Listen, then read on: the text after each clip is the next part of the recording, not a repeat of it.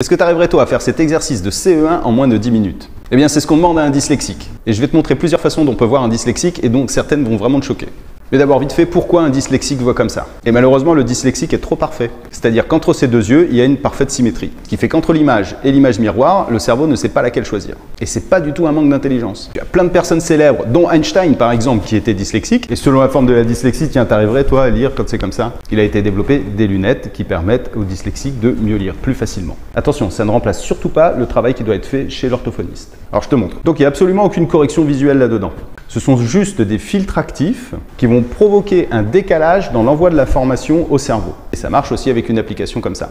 Ces lunettes, avec l'application, on va recréer artificiellement un œil directeur. Les effets sont vraiment instantanés, même si on observe que ça va de mieux en mieux plus on les utilise.